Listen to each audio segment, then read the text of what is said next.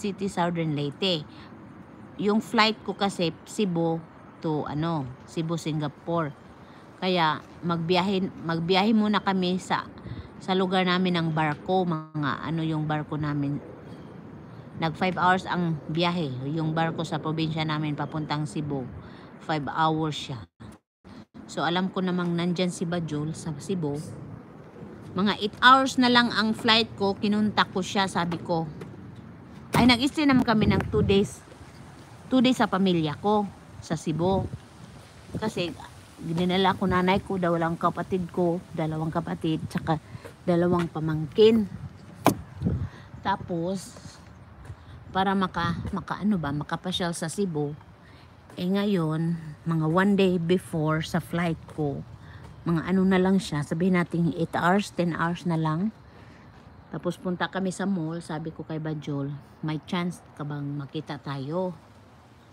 Ganon. Kaya, sinabi, sinabi niyang oo, hindi nagkita kami, mga ano lang, mga 2 hours yata, at least 2 hours namin.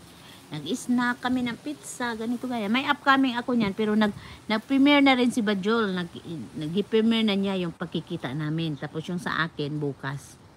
Bukas yung premiere ko sa pagkikita namin ni Bajol. So, abangan bukas.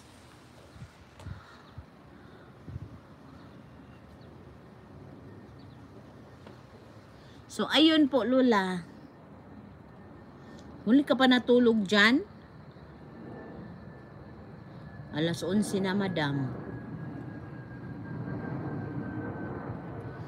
Ayan, maganda talaga ang panahon of blue sky. No cloud at all. A little bit only. Ganda mag-ride today.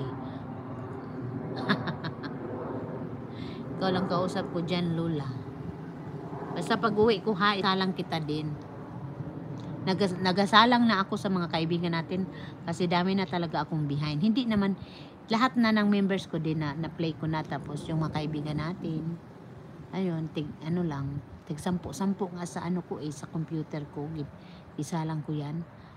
Tapos, oh, at least nakasukli man ako maski behind. Mga ilang videos din, mga ganyan mga pakunti-kunti tapos ngayon pag uwi ko din ikaw din isali ganun kasi minsan di ba maghanap tayo ng mga pangalan-pangalan tapos minsan hindi natin maisip so ngayon pag mag pop up minsan edi ay si ano pala si Lola ganito ganyan si ano ganon.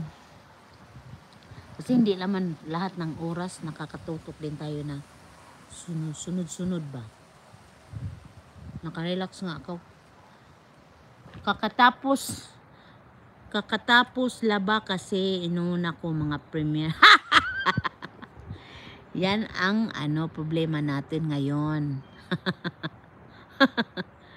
Yan ang inuna natin di ba? Tapos konti lang masahod tapos yung sahod mo talaga sa sa trabaho mo diyan di ba? Wala wala wala sa one fourth wala lang sa one fourth pero at least pa konti-konti meron papasok ng mga barya-barya nakakatulong din. At nakakaaliw din naman di ba? Maski yung umuwi nga ako one month ano ah medyo nakarelax ang utak ko kasi focus lang talaga ako sa pamilya ko sa nanay ko kung anong mga ginagawa linis sa bahay tulong sa nanay kapatid mga pamangkin yun lang yung wala hindi ko man masyadong hinaluan ng YT kasi nakakaano ba nakakaubos din ng oras So, ganun. Kaya may mara, marami akong utang din kasi nagpe-premiere ako tapos wala ako tapos may mga kaibigan pa din nagsusupport.